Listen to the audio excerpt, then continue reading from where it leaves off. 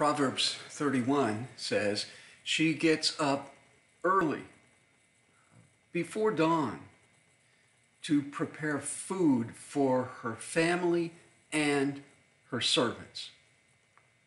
Well, if she had servants, one might think it was the servants who were up before dawn to prepare food for her.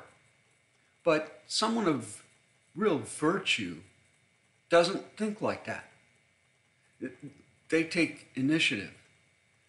They are all about serving others. So she's up early, investing in her family and her servants, that they might have the food that they need to be able to serve others and, and to meet the challenges that this day will bring. How are you investing in those who are part of your inner circle today? Most of us don't have servants, but some of us do have folks who cut the grass or clean once in a while. How are you investing in them so that they might serve you better?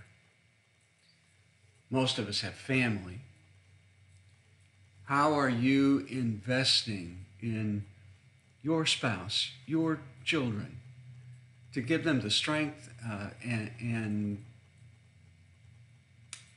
the confidence to move through today? This is Ben Moore from West Highlands United Methodist Church with a thought for your day, just another way of reaching out. Thank you.